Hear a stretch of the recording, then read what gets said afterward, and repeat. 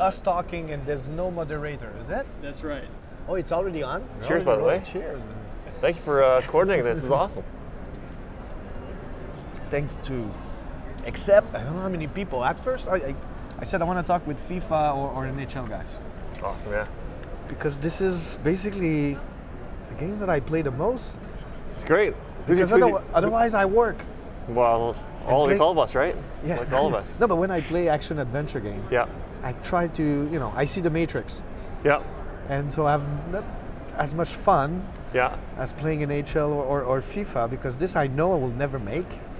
Th- Even though I try to analyze what you guys are doing. That's what I was gonna say. So when you play sports games, it take you out of that kind of your, your workspace a little Yes. bit. Plus, I don't think there's this this, and, and maybe I guess some people who play shooters they have the same when you do like a, a headshot, but scoring a goal is the pure joy that you can have as a human being. I It's- hear you. right? Tell me more about uh, your love of sports games. Where that came from? Like, Oh, I you grew up playing sports games? Yeah. Yeah. Oh, yeah. Sports I like. I think one of the first video game I played was kind of like a weird uh, NL. It was only bars, and you, you there was kind of like they tried to mimic soccer. Yeah. And then then they, I remember in uh, in college playing NHL '93. Uh, you're, gonna date, you're date yourself now, so I know, I know. I'm 41. I'll see. I- I don't we're- look 41, We, we, are the exact same. So I'm 40. I'm the same thing. I was Alright. playing '93. 93 on on PC, Okay. where you could actually manage your team. Because on the console version, it was a lot more arcade. Yes. Yeah. That's right. 94 with with great games. Yeah. And and it's and we just love hockey in Montreal. It's it's our religion. It is religion. We, Patrick, we sorry to interrupt. I think Uh, your microphone fell off. oh yeah, that's true. There we go. I got you. Okay, What's happening? he is famous. Join our interview. Good seeing you. You know, she's got a point though. I don't understand why the sports guys are not famous. you ship game every year. You sell your copies, We do, and they're always at a quality standard. Yeah. You push forward behaviors, physics, presentation, Yeah. and you're kind of like, oh yeah, yeah, the sports guys. But we don't have we don't have three years to build hype, so we build it. Uh, maybe. And we spend, you know, the game comes out in September. Guys will play it hard for six months while we're building away, and then when they start to lose some of their engagement, we start talking about the next one. That's Yeah. that's the cycle. That, that So that's your cycle. it's great. Like that's like, I'd love to live in your world for a day and just. Well, I'm getting into your world now Are you? because we want to go and do like game as a service slash Right, okay, episodic yeah, yeah, slash. yeah, we yeah. need to come up with stuff often. Yeah. So this this cycle of like let's spend five years and then it's out there. Let's let's go for a, a f- like a full month of vacation is about to disappear in my life too. Oh yeah. Yeah. Well, I mean, for us, like we, we'll start working on the next version of the game before. Like we're working on ideas for 17 right now. We're still wrapping up 16 because expectations are Yeah. through the roof every single year. And literally every day that we're not working on the game, we know the game's going to come out next September. Every day that we're not working the game on the game is a day lost. It's a, Wow. it's part of a feature lost for the fans, Yeah. right? So we got to go, And go, are- go. Are the teams at, at EA different? Do, do you share or there's competition between the different sports? Both. I think, yeah, absolutely both. I think right now, um, in the last three years or so, I think sports as a whole, yeah, Sports as a whole, is doing the best job they've ever done of sharing technology, Okay. sharing ideas. But absolutely, it's healthy competition. We're sport. We're sports guys. There's absolutely there's healthy competition, Yeah. and I think it drives both One of us. thing you can steal from FIFA is the quickness of saving. On FIFA, you you know in the menu you press X and boom it saves. Yes. In NHL you have to go through. It's a bit further. Yeah. I'm just telling you this. Yeah. to, uh, We to help the experience. in. Oh yeah, we dial in, trying to dial in all, all of that stuff. Yeah. And you always been working with, on the sports side of things, or you've made something else? I've always worked on the sports side of things. So I, when I got in, I started. My first job was in, in university, and same thing, playing NHL '94. We were playing NBA, uh, and a summer job came up because back then there wasn't a whole lot of sports guys making sports games. A lot of Uh-huh. programmers um, and guys that knew their craft but didn't know the ins and outs, of the authenticity of sports. So in the summer times, we'd get a summer job of just going in and playing the game, playing a video game for eight hours a day. Producer would come in and say, just please play it and give us feedback at the end of the day. What's real, what's not real. Sometimes they forget about us and we stay there next to three hours. Um, they come in the room, we give them the feedback, come back the next day and they try and update the build and they plug the big cartridge in and play it again. And I was like, that, that was my first experience making games. That was NBA Live 95, Coach K back then, just kind of Okay. special thanks and credits. Not knowing that, you know, five years later, I'll be giving up a basketball career to make sports games again. Okay. Like, it's just full circle. It's crazy. And for me, it's awesome. It's every day. People are like, oh, you work long hours and this. And I go, I don't know if I, I don't really consider it work. I get in my car every day. I drive to work. I work on a sports game with a talented team. Like, Yeah. it's video games and sports every single day. Yeah, I'm, with you. Me, I, I'm an adventure, history, and, Yeah. and- but I don't. I, I tell that to everyone. I don't have a job.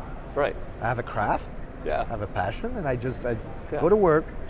But eventually, because now it's been two years, so that I don't have to go to work. Yeah, yeah. The work is at my place. Right. But in two weeks, we open up a new studio, and I will have to go, and I'm so looking forward to it. Absolutely, yeah. But it's five five minutes walk from where I live. Oh, beautiful. I made sure that my, my studio is really close. Yeah. So we can bring the family and, and Yeah. But I don't have I actually don't feel like I have a job. And that is we're really, really lucky. There's not a lot of us You're on right. this planet. You're right. And there's you must talk to a lot of kids too that come through and want to meet uh-huh. you and yeah. and they're like, oh, how do I get in games? I might like games. I don't like games. And it's not about like at, when you're talking to kids that are 15, 16, 17. It's not about games because games are cool. It's about doing something that you're you're gonna have to work. Eventually, yeah, you have You're to gonna pay have to some work. bills eventually. So you might as well enjoy what you're doing, whether it's games or whatever your passion is, and Me- have it not feel Me like game work. picked Right? me. I didn't I never thought I would be making video game. I was in movies and literature. Yeah. you know, I was serious while having fun. The only game I played, I, I made a lot of improv Yeah. theater, and that's a game. And improv in Quebec, it's funny, kid you not. It's not like uh, whose line is it anyway. Right. It's another way of, it's. It's a guy in the 70s who invented a sport, a game Yeah. of improv based on hockey. Uh, So it's, focus re- and competition. yeah, like but it. but it's tough oh yeah. I- because it's it's live creativity. You're being like uh, really open in front of a public, and they will tell you if it's good or not. yeah. Yeah. So yeah. that helps you really to let go of a lot of the mask when you create. And that was maybe a question for you. How much creativity is there when you have to duplicate That's a great reality? question. It's a great question. Lee. Thank you. It's not a, it's not a it's, it's not an open world. We don't have to go in there and define the rules. The rules are defined for us. The playground is defined for us. So for us, it's about authenticity. But it's, it's how do we so if we replicated hockey to a T, it would not be a fun game. It wouldn't be fun. So we need to find the line between authenticity, where we're replicating the sport, replicating the players, replicating the motion, the behaviors, uh, but also taking some liberties to make it fun. So people, our, our fans always ask us, never, don't let the stick go through a player's legs. That's what we want. That's real hockey. In ho- real hockey, a stick will never go through a player's leg. Physically impossible. Yeah. We've tried that. And what do you expect? If the stick hits the legs, you expect the puck to go loose every single time. In our game, when we try that, the puck goes loose every single time. You can't move. We don't have the fidelity in our controls right now. In real life, I could go like this and get around you. Uh-huh. We don't have the fidelity in our controls right now at this point to handle all that, or the AI. Do you think that eventually it will go there, or it's like it's not even? Let's not even try. Like you try just to. Do you think like in ten years with technology and the, the, the, the power of the machine? So it's interesting because your leg's there, my stick's over here. Do I want that to be user controlled and I'd have to go around your leg like I would like in real life? Or do we do it automatically for you and then I'm taking away control for you? And ultimately I'd like to give control to the players, Yeah. give as much control, give them the tools to be super creative and do all that stuff, but is that too complex? And then But, I, us, but I'm sure like uh, 15 years ago when it was all about buttons, Yeah. right? It was a total different Oh, yeah, yeah. And then well, this you became more precise. that's right, yeah. Do you think? Uh, no, I don't think it's a good idea to to do NHL VR. Yes, yes, I would go. So the the experience that fits best for that is goalie is playing as goalie. So Yes. right now for 16, we're redoing all the, the user controlled goalie stuff for the EA Sports Hockey League. Um, so that's where I would want to start experimenting, Okay. seeing what we can do from a goalie because you're, just, you're for the most part you're stationary. I No, I, love. I use sorry. I, I use a lot of example because what you say like uh, don't try to mimic or to because sometimes in in, uh, in in my world engineers and whatnot are really uh, anal about detection and it's like it's got to be and I use FIFA a lot of uh, a lot of time as an example of like look you know the ball doesn't actually touch the feet most of the time Yeah. and people don't mind Yeah. so it's okay if the feet is not perfect when Yes. you you know jump from rooftop to rooftop. Yeah. Don't And so, yeah, I really use a lot of, uh, uh, of sports analogy even while making my thing. It's right. You know, when you look at like our sports game, um, control and responsiveness is so important to that interactive experience and the competitive yeah. experience that we have to take liberties. We can't let all the animations, the beautiful animations that we capture in mocap, play out because it feels super sluggish. Even a, a pass animation, we put pass animations in there. We have nice follow through on the pass. Yeah. It looks beautiful. But as soon as that puck's gone, you want to be able to take that character and move with them. If he has to finish that animation, he's got to be able to branch out. Yeah. So uh, yeah. we got to take those liberties just to. It's funny because we really share the same core because my games are really about behaviors. Yes. And you, you use the same words. That's it. I, I love it. I love yeah, it. Yeah, yeah. It's like transition and make sure that it is. It is a. Because um, yes, I, I, I do stuff with narrative, but it's the it's the second to second gameplay that is the most important. If that's not fun, you know, who cares about your career? Yeah. If yeah. you don't have fun in the that's you know right. in the first period. That's right. it's the same for me. That's why I lo- like so for me, if I could step out of sports, I would want to go to your world and experience a pre-production. How long that pre-production is and how you go from vision to evolving that vision to defining the, the, the rules of your world that you're creating because you're creating this world that doesn't exist yeah. and defining how high people can jump and what where the limits are and is there limits but, and but see we're uh, we're kind of like stuck at the same place as you are now is that more and more the characters are doing like people in real life you look at the uncharted uh, yeah. thing from from from this week it's like wow okay that, that's his like you know he goes in through the crowd oh, it's yeah. like assassin's creed plus plus already yeah. it's like oh great job guys and but then there's less and less creativity because you're building an actor now. You're, that's right. You're, and, you're, you're, pushing him into a defined world, right? Exactly. Yeah. And so there's no so such a, uh, so many variables left to do, and every game are doing it all. Yeah. I remember uh, on Sands of Time, it was like, oh, we're going to run on walls. Yeah. Oh, wow, key feature. Let's sell the game on this plus yeah. the rewind. And now you play Titanfall, you're in mechs, you shoot, yeah. and you also run on walls. Yeah, yeah. Uh, it's I don't know where I'm going with that, but whatever. I got to. I got like, That's the end of E3 with one beer talking. It's like, whoa, okay. I got. A, I got a question for you. Okay, go ahead. How do you guys, how do you guys define innovation? Like, what does innovation mean to you guys? Me right now, it's it's the subject matter.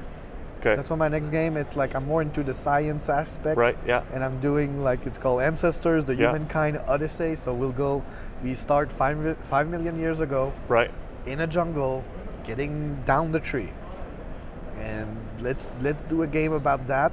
So right now, my thing is about density.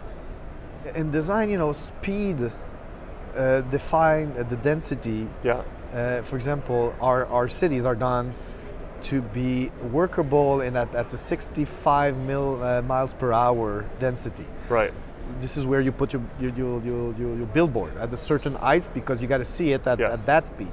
Yeah. If you go in Europe where the, the cities are a bit walkable, everything uh, changed in, in perspective. In games, we've been doing density of gameplay according to a Lamborghini or the or the fastest way of, of traveling around. So in, in the case of Assassin's Creed, it was the horse. Right. So you have to build a game world yeah. done according to that speed. So we're stuck of telling stories at that speed. So that's why our heroes they jump, you know, the jump of, uh, of, of, the prince or, or the of the uh, of Altair or Ezio is the world record. It's eight meter, or right. you know, so it's like nobody can. It's not eight meter. It's in heights, but nobody can actually jump like that. Yeah, yeah. Or except one guy. Yeah. Uh, and so, but so we cannot tell different type, and tell is a big. We cannot play different type of stories because we're stuck with that speed. So my my innovation for the next ten years yeah. is like let's reduce the speed. Right. Change the density and do the same amount of gameplay per second. Gotcha. Yeah. And then we can tell a different type of story and put those characters in different situations. That's why right now we're working in a really, really dense jungle. Right. And it has to be fluid, just like uh, we had in, in, in previous generation, yeah. where you can make a jungle, but there will be a lot more space in between trees. And before also we were making a first a character, and then a world that that went with that character. This time I'm trying the other way around. I let my artist do you do a a world that looks real.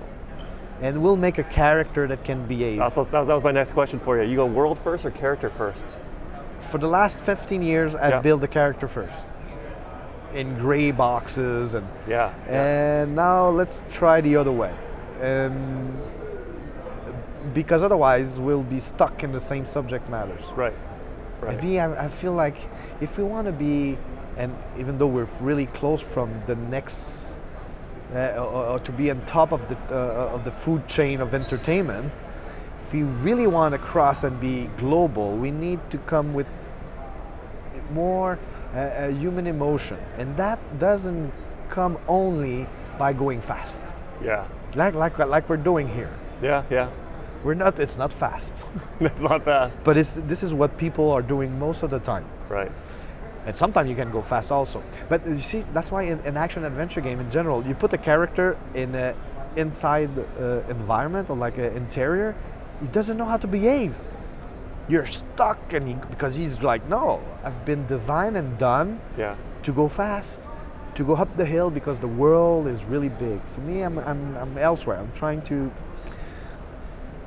uh, to make everything smaller, which is weird at the same time. 'Cause it's all about bigger I explosions. was gonna say, yeah, everything's all about bigger and But I feel like uh, first because we're a small team. Uh, Yeah. How many people on your team? uh, we fluctuate. So But roughly. Yeah. average.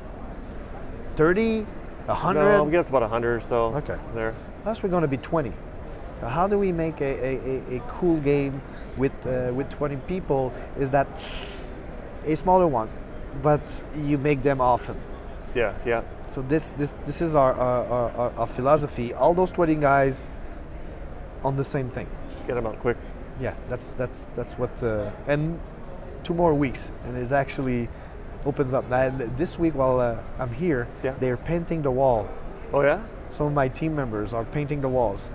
That's, That's the beauty, That's great. because you're in a big and you, you, and, and you, you like uh, being in a uh, in a big team, or I don't want you to you know go in trouble, PR trouble with No, that. no, I do, I do because it's about. So the, one of the great things about making hockey in Vancouver is everyone's passionate about hockey, and not only are they passionate about hockey, but they're also consumers of the product we're making, right? Yeah. So we don't need to, as producers, we don't say, need to sit there and say we want all these little details.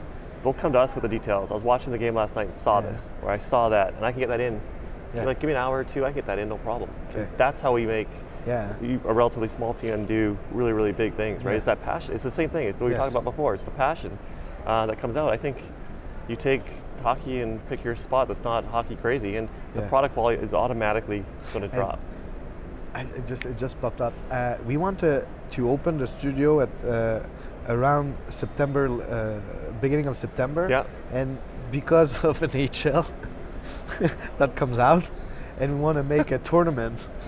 So you invite the people at the studio, we'll have fun and a beer, and there will be an NHL tournament Awesome. going on, and we'll do it because in front of the studio there's a a, a, a sports bar. Yeah, yeah. And we want to make it there because our studio we cannot have like it's a, it's done for 25 people, so you cannot have a party of 150 people. Yeah, yeah, yeah. So come visit the studio. We'll go down, go to Champs. That's the name of the Okay, bar. Yeah.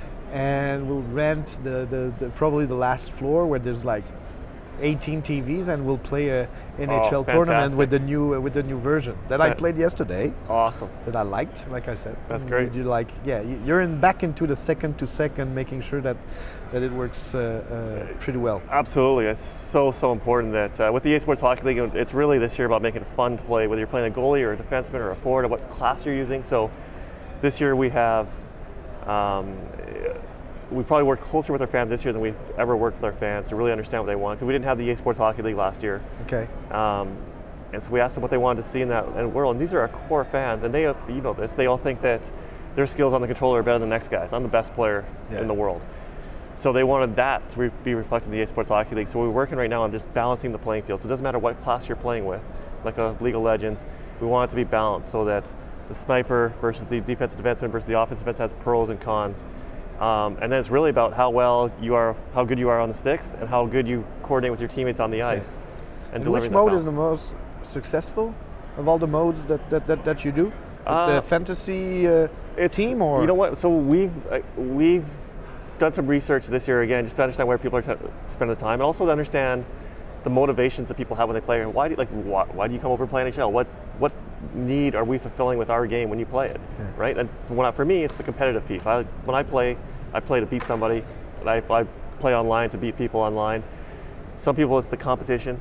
Some people it's the fantasy elements. I can take my Montreal Canadiens, have them win the Stanley Cup every single year, or I can Yeah, relive my, yeah. my hockey career, right? Me, me, me it's a, it's the Montreal Canadian, but uh, I'm weird. I cannot play with the Montreal Canadian that is not the team that I that I go watch. Really? can- no, yeah, I have a hard time uh, making a trade.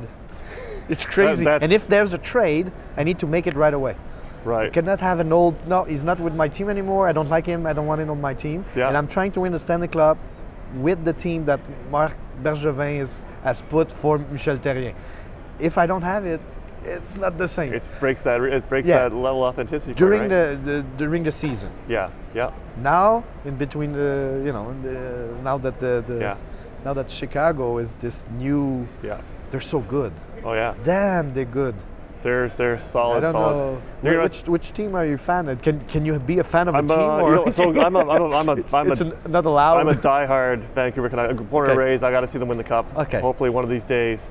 Um, but also just working with hockey players, they're all fantastic to work with as athletes. Um, know, you- so they're the start to cheer best for players. Canadians. Yeah, I start to cheer for players now on Okay. teams. I'm sorry for people who really love video games, but now we're back Now into we're back hockey. hockey, This yeah. is the real thing. this is two Canadian talking hockey. Even it's it's true. Talking religion, yeah. T- talking religion. Was your E3 g- good for you at, uh, at the boot at uh, with NHL? It was really good, yeah. He, uh, You know, for us, we, we go hard all year. Uh, you have this vision at the start of the year. Yeah. You have this uh, feel for how you want people to experience the game, and you play it before you come to E3, Yeah. and you think it's the way that you imagined it, and the way you You, you think you know how people are going to experience it when they get to E3, and then for people to come here and play it and give the feedback that is in line with your original vision is when you're like, Yeah. awesome. So we got that. We got some of that uh, this week. It's been really, really good. People just talking about, like you said, just everything just being dialed in, Uh-huh. the gameplay being tighter. We don't have big, flashy, back of the box gameplay features. It's about getting that core right, getting that core Yes. fundamental experience right, And have fun. the, getting the, The fun, core. Yeah. complete control and fun. Plus, I guess you also finished and, and did all the modes that were gone. Be- all that stuff. As a developer, I understood why Yeah. change of generation of Yeah. like of machines. I understand that you, you have to make Yeah. hard, uh, you know, hard choices to Yeah. actually Yeah, come up with a product at the end. yeah. So everything's there. Everybody will be happy.